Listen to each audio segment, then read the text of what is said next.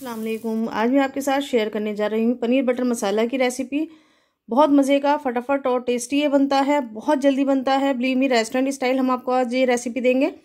एक बार बनाइएगा इनशाला आपको बहुत ज़्यादा पसंद आएगा, फटाफट से बनने वाला है बिना किसी झंझट के।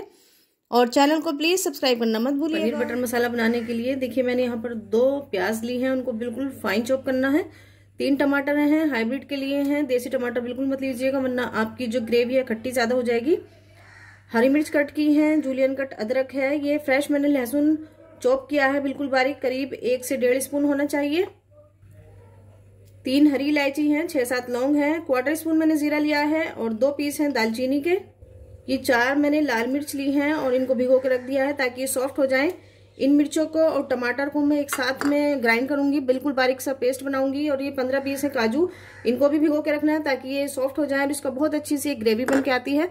दूध की हमारी जो मलाई होती है ये आप क्रीम भी ले सकते हैं। ढाई सौ ग्राम पनीर है चलिए बाकी चीज़ें हम आपको बताते हैं इनको मैं पेस्ट बना आधा कप मैंने ऑयल लिया है मैं सरसों का तेल यूज़ करती हूँ। आप जो लेना चाहते हैं वो ले लीजिए जो खाया जाता है। उसके अंदर मैं डाल रही हूँ थोड़ा सा बटर एक स्पून ताकि हमारे ऑयल के अंदर जो बटर वाला फ्लेवर है वो आ जाए। और अब हम ये डाल देंगे अपने गर्म मसाले।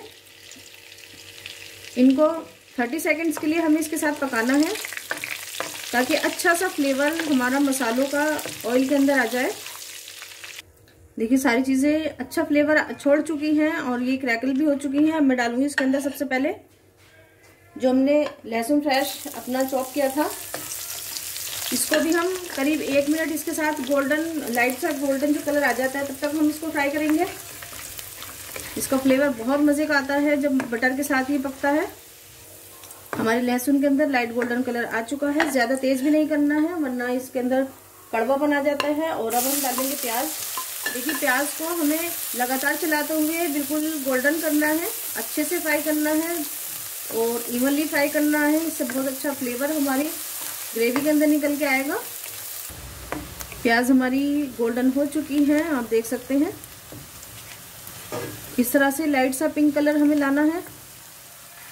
और अब मैं इसके अंदर डालूँगी जो हमने टमाटर और लाल मिर्चों का पेस्ट बनाया है। ये देखिए। टमाटर डाल दिए हैं तो साथ साथ हमें डालना है इसको डालने से। टमाटर हैं, बहुत जल्दी सॉफ्ट होते हैं, अच्छे भुन जाते हैं। अब मैं इसको पाँच मिनट के लिए ढक के बिल्कुल पकाऊँगी ताकि इसका ऑयल बिल्कुल सेपरेट हो जाए और हमारे जो टमाटर का कच्चापन है वो निकल जाए। फ्लेम को थोड़ा सा लो कर दीजिए। और इसको ढक के पकाइएगा।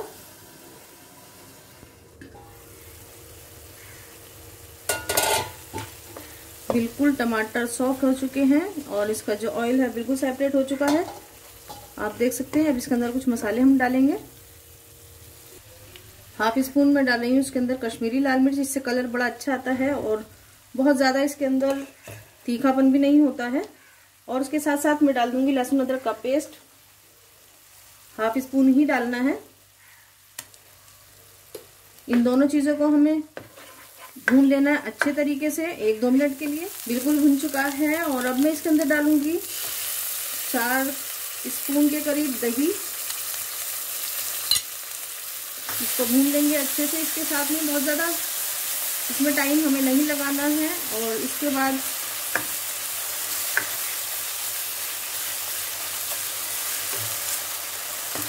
ये देखिए भून चुका है। और अब मैं डालूँगी इसके अंदर मलाई। आधा कटोरी या छः से सात स्पून मैंने इसके अंदर मलाई ली है। देखिए, बटर वाली जितनी भी हम ग्रेवी बनाते हैं, उसके अंदर मलाई ज़रूर जाती है। इससे टेस्ट और कलर एकदम से चेंज हो जाता है। बहुत मज़े का आता है क्रीमी क्रीमी इसको पकाएँगे एक दो मिनट इसके साथ में। और आप देख सकते हैं, इसका कलर एकदम चेंज हो गया है हमारी ग्रेवी का। कितना अच्छा कलर आया है।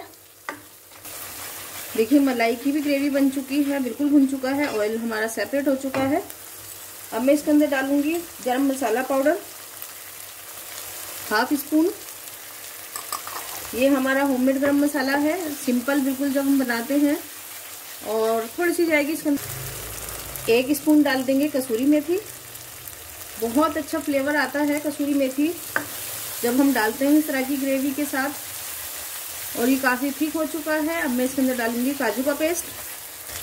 देखिए, काजू को मैंने पीस लिया था। और ये कितना स्मूथ भिगोने का यही फ़ायदा होता है कि हमारे जो काजू का पेस्ट है, बहुत स्मूथ सा बनता है। फ्लेम को यहाँ पर लो कर दीजिए। और अब मैं इसके अंदर थोड़ा सा, एक दो मिनट इसको पकाऊँगी। अपने जार के अंदर पानी लेके हम इसको खंगाल के इसके अंदर डाल देंगे।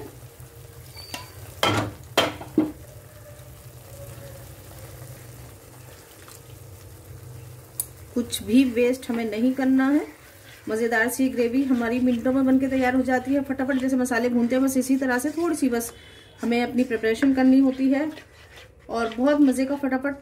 और बहुत जल्दी बनने वाला ये पनीर की एक ऐसी रेसिपी है, बहुत चटपटी सी और डिफरेंट सी, कि आप एक बार बनाएँगे तो यकीनन ही आपको बहुत पसंद आएगी। देखिए, काजू का पेस्ट भी काफ़ी अच्छे से भुन चुका है। और अब ये काफ़ी ठीक है हमारी ग्रेवी तो अब मैं इसके अंदर इस पानी ऐड करूँगी और इस पॉइंट पे आप अपना नमक, मिर्च वगैरह सब टेस्ट कर लीजिएगा। करीब एक कप हमें यहाँ पर पानी डालना है और फ्लेम को कर देना है बिल्कुल लो। और इसका जो पानी हमने डाला है, इसका कच्चापन वगैरह हमें पकाना है और इस ग्रेवी को बिल्कुल सेट करना है। पाँच मिनट बिल्कुल ढक के पकाएँगे और तब तक हम अपना पनीर फ्राई कर लेते हैं। बस हमारा paneer butter masala restaurant style बन के रेडी है। अब जब तक हमारी ग्रेवी सेट होती है, हम अपना पनीर फ्राई करेंगे। फ्लेम को थोड़ा सा हाई रखना है हमें यहाँ पर।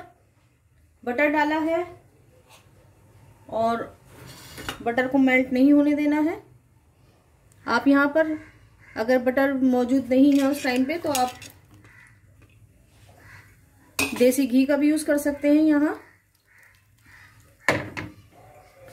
फ्लेम को यहाँ पर हमें बहुत हाई रखना है और देखिए हमें अपने पनीर को ना तो पकाना है, ना इसके अंदर कलर लाना है। सिर्फ़ एक अच्छा सा फ्लेवर लेकर आना है। अब यहाँ पर डालेंगे जूलियन कट अदरक और हरी मिर्च हमने जो काट के रखी थी, अच्छे से इसको बस ऐसे टॉस करना है।